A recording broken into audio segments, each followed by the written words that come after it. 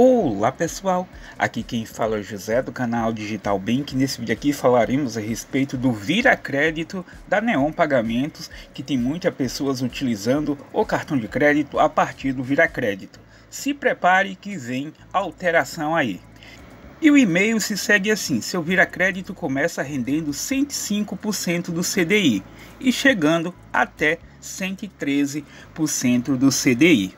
Optando pela mudança, vamos transferir o Viracrédito e demais investimentos para o novo CDB da Neon, já com desconto de IOF e IR. Os rendimentos e os centavos resgatados serão transferidos para o saldo da sua conta. Prontinho, seus investimentos migrados começam a render. Aí logo abaixo ele deixa a opção para os clientes que não desejam fazer essa migração, mas eu logo adiantando para você que não adianta nada você não fazer a migração, porque vai acontecer o seguinte: não optando pela mudança, a partir do dia 31 do mês 7 de 2023, não será mais possível adicionar valores ao seu saldo do Vira Crédito e investimentos atuais. Seus investimentos atuais serão resgatados para seu saldo no dia 30 do 11 de 2023.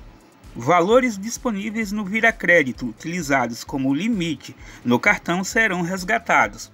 Bom, pessoal, como vocês podem observar, a Neon Pagamentos, que também possui o seu cartão de crédito, que também é vinculado a essa opção do Vira Crédito. Muitas pessoas conseguiram o cartão de crédito a partir dessa opção, que nada mais é o Vira Crédito que um CDB, cartão de crédito, assim como você já encontra é, no PagBank, Banco Inter, C6 Bank e tantos outros que utilizam desse mesmo mecanismo para oferecer um cartão de crédito para diversas pessoas que teoricamente não teriam chances de ter um cartão de crédito.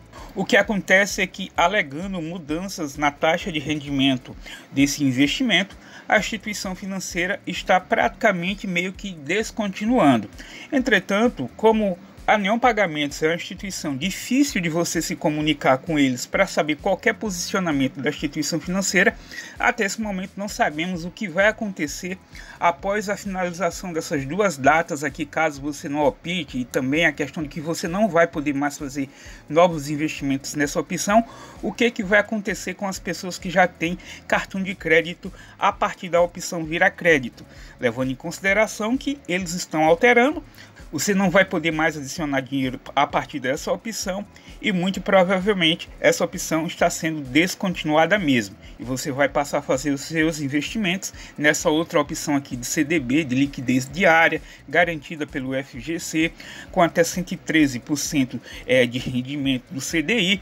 Aí Resta a gente esperar e aguardar pelo um posicionamento mais direto, mais concreto a partir da Neon Pagamentos para sabermos o que vai acontecer com os clientes que têm cartão de crédito atrelado a esse investimento. E aí, pessoal, qual que é a sua opinião? Deixa aqui abaixo no campo dos comentários e vamos conversar a respeito sobre mais esse assunto. Se você não é inscrito aqui do nosso canal, eu peço para que você inscreva-se, para que a nossa comunidade cresça mais, compartilhe esse vídeo para que mais pessoas conheçam o nosso conteúdo, clique em gostei para mostrar para o YouTube que nossos vídeos têm relevância. Até a próxima, pessoal. Falou!